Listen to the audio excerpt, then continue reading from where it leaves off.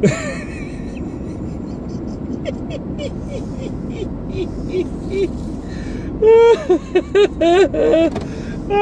my goodness. Oh. that was the best comedy I've seen all year. Oh my god. Oh, so uh so yeah, um Um, a movie like this, I mean, you know what you're getting. I mean, I, I said this a little bit with the, uh, uh, what was it? Happy Death Day review. And this one's kind of in the same boat, is that it's kind of hard to review because you can't just come out here and go, oh, that was stupid and terrible and far-fetched and blah, blah. Because if you paid money to go see it, you pretty much know that's what you're getting. I mean, who saw trailers for this and went, wow, I bet that's going to be a really well acted, really tight screenplay. I mean, who who says that? You know what you're freaking getting into. So you can't get too mad at some of the aspects of this movie because they're it's right there, guys. You know what's coming. Um and in truth so first of all let me say so yes, this is a bad movie, but it's it's the good kind of bad in that it's laughably bad. I'm not notice I didn't say it was entertainingly bad or, you know, fun bad. It's just laughable. You know. Um I was hoping a little bit more in the vein of good uh, bad, you know, that kind of, you know, at least it's enjoyable to watch, but it, it, it didn't make it. It, it crashed on, on arrival.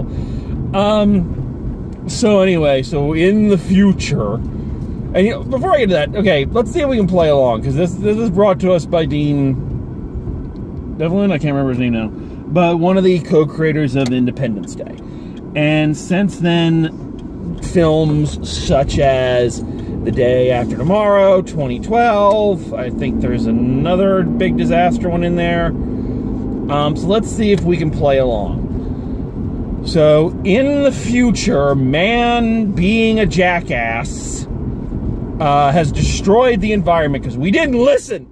We just didn't listen to all the scientists and the warning signs and such. We have destroyed the environment and the weather system, and the weather system is now mad at us. So, man decides that for the first time to join together again check that one off the, the checklist to join together to build and create the technology to control the weather seemingly overnight to stop all of the terrible, terrible weather from raining down on us. And it was an international team, but lo, those evil, evil Americans and those crafty, crafty Republicans didn't want the, the space station to be run internationally. They wanted to own it all because we're all such mustache twirling villains. And so we kick out the cowboy like scientist who knows better than all of us.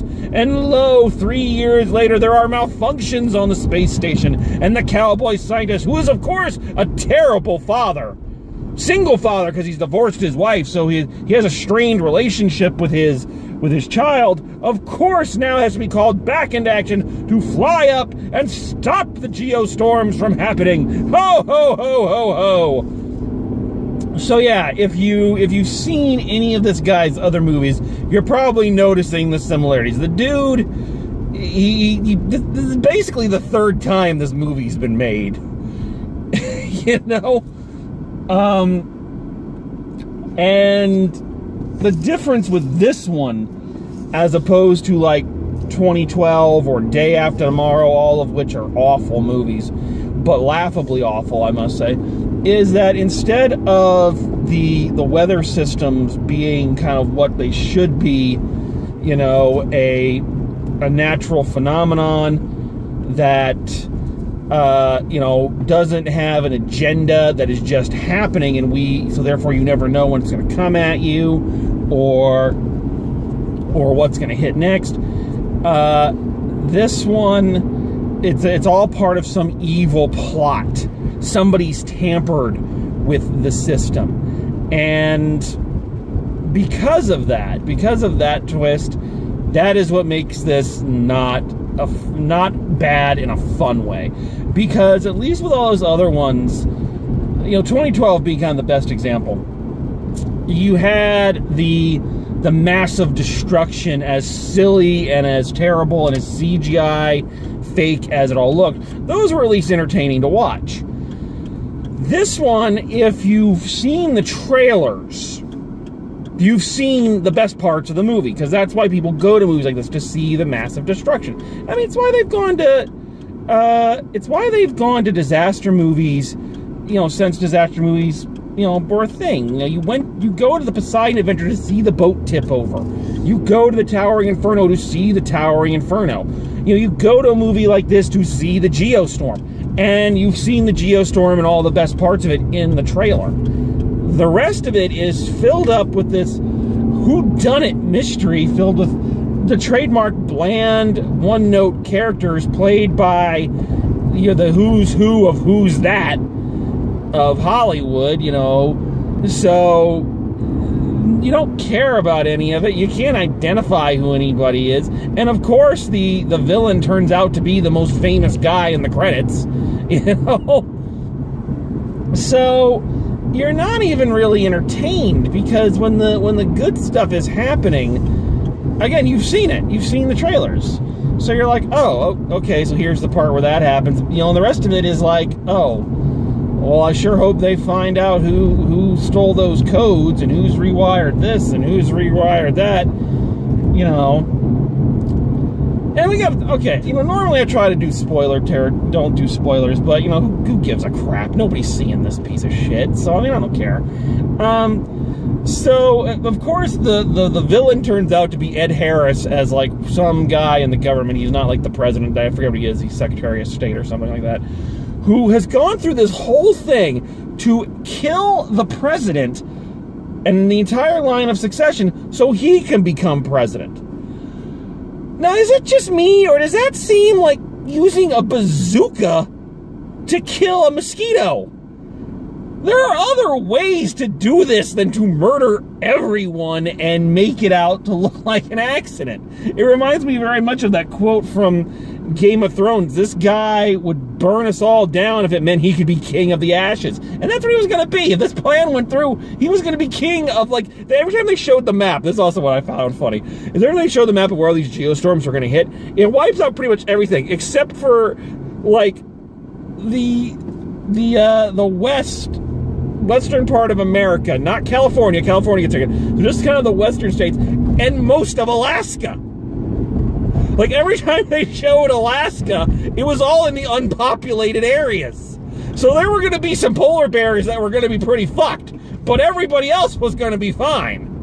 And that, my friends, is how Alaska became the capital of America. Who's laughing now, bitches?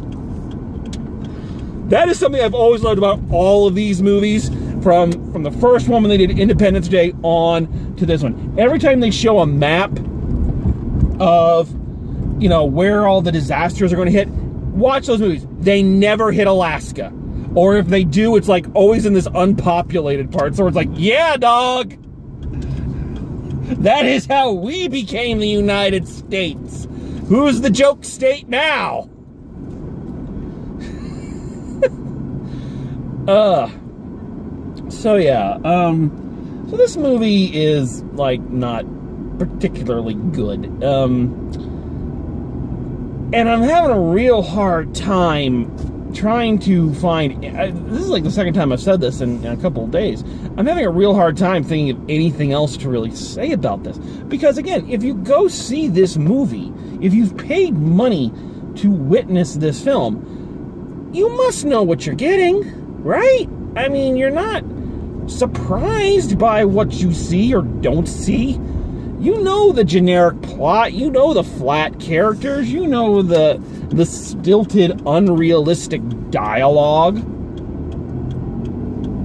You know, I mean, so what do you what do you want? you know, I, I guess what gets me about these films and all of them, from from Day After Tomorrow all the way down, is even though they all share kind of the exact same plot, more or less. It's amazing how the one thing they do different each time, is find different ways to disappoint you. I mean, I find that utterly uh, amazing. Okay, for instance, all right, people I've heard nothing but bitching like online about that Kong Skull Island because the characters weren't you know nuanced and subtle. They were big caricatures you know played by big actors going real big. And you know why that is? Because it's a freaking King Kong movie. The humans are not supposed to be the focus. They're supposed to be interesting enough to carry you through the scenes with no giant monkeys fighting and they did that. They did that great. And that is the thing that Independence Day did that none of these other subsequent films that this guy has done have ever been able to accomplish. Independence Day's characters are not subtle, they're not nuanced, they're not they're all big characters. But the difference is the actors they have playing them are charismatic enough, the the, the characters are broad enough and played with enough fun that you want to watch them go through it all and you even care about them ever since then, they have not had that. They have not had the characters that you're, you know, the big characters played by big actors, you know, given big performances, you know, to kind of go, hey, this is entertaining enough to get me through to the next natural disaster. No, they're all very bland and very, you know, one note. And not, and I, you know, it's not say the character again. The characters in Independence Day were one note, but these ones were like exceptionally one note and like the one note that you've seen about a dozen times. Um, but it is funny to watch some of these actors just trying. You know, they're trying, but it's like the credits are rolling, and all I can think is that line from Mystery Science Theater: "Race to film obscurity." you know, who knows? You know, George Clooney was in Return of the Killer Tomatoes and went went on to win an Oscar. So you know what? maybe someday we're going to see a messy hair Secretary of State guy or blonde James Bond girl or vaguely descriptive German girl or the Mexican. That's literally his character. Uh, maybe we'll see one of these actors really give us a brilliant performance one day and maybe I can flutter my arms so fast I'll be able to achieve liftoff. um, and while we're on that subject, why the hell do I know Gerard Butler's name? Why the hell do I know his name? He's top billing in this movie. I know his name, but I can't tell you a single film he's been in other than this. Why do I know his name? You say to me, Gerard Butler. I say to you, yeah, I know him. What about him? Exactly. What about Gerard Butler? Now watch me go home and actually see I've got 20 of his movies on my shelf and he's such a great actor I never really realized it was him. But I don't think that's going to be the case. Um so yeah, uh Geo and that's the other thing. They never actually have the Geostorm.